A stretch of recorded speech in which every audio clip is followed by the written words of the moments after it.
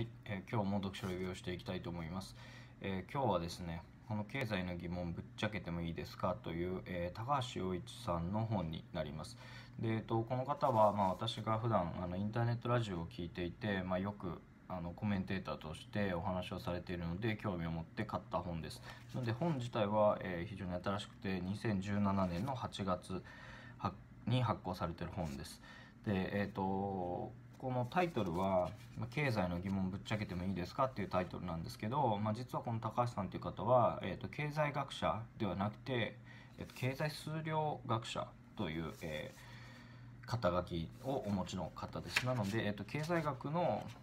えー学士とか、えー修士とか博士っていうのは確か持ってなくてですね。そうですね、えー、と東京大学の理学部数学科と経済学部経済学科の卒業か。で博士は、えー、と政策研究で博士を取られて、まあ、大蔵省に入られて、まあ、諸々の経歴を経て、えーまあ、小泉内閣とか安倍内閣で、まあ、ブレーンとして活躍というふうに、まあ、書いてあるんですけど、まあ、あの経済にはあのもちろん通じてらっしゃる方なんですけど、まあ、肩書きとしては経量経済数量学者という肩書きの方です。でですね、えっと、これは中身としては、まあ、こんな感じでアニメが書かれていたりとか、えーその他アニメ以外の部分はこういう会話形式で、まあ、あのイラストなんかも書かれていて内容としては非常に読みやすい、えー本になっています。なんですが、えーとまあ、ちょっと私も全く勉強不足で、まあ、今その経済であったりとか、まあ、財政であったりとか、えー会計っていうものを今勉強中なので、まあ書きぶりは非常に優しいんですけども内容としては今の私にはまああの難しいというか知らない内容が非常に多くて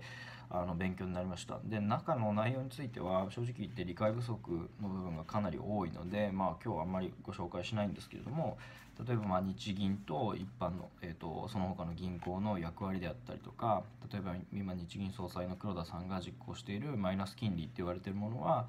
まあ、実際にマイナス金利なのかと。でまあえっと、もちろん消費者に銀行が貸し出す金利がマイナスになってないっていうことは知ってたんですけども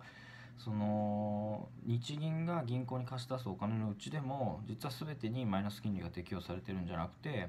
まあ、一部の、えーある一定金額を超えた分だけマイナス金利になってますねとか、まあ、その辺のちょっと細かい話とか全然理解してなかったんで、えーまあ、非常に勉強になりました。で本の構成としてはですね5章ぐらいで、え確かできていてですね。1章目が経済の基本についての疑問ですで2章目が金融政策。3章が財政。4章が国際経済、えーあですね。4章立てになってます。でえっ、とまあいろいろそうですね。例えば経済の基本っていうのは例えばマクロ経済学とか、えー GDP とか失業率と物価の関係とかですね。で金融政策はま今言ったような日銀と、えーその他の銀行とか、まあ、あとは国債って何なのとかあそれは財政の方に入ってるのかな？そうですね財政の方、まあ、国の、えー経済活動はどうやって分か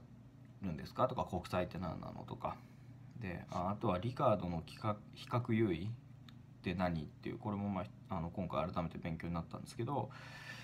とは TPP とかですね、まあ、結構あの広い範囲にわたってしかもまあこの書きぶりとしては非常にあの初心者でも分かるような書きぶりになってるので、えーまあ、ざっと勉強するには、まあ、いい本かなと思いますでただまああのーこの手の本に、まあ、よくある内容としては、ま特にその経済っていう学問の、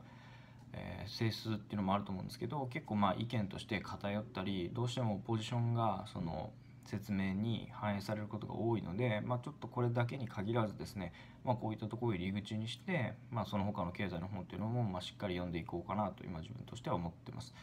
あの非常に読みやすい本なんで、まあ、全然わかんないなっていう人にはまあおすすめかなと思います。ただあのもう一度言いますけどこれだけを信じるんじゃなくて、まあ、おそらく他の本も並行して理解していくのがまあいいんじゃないかなというふうに思います、はい、今日は以上です。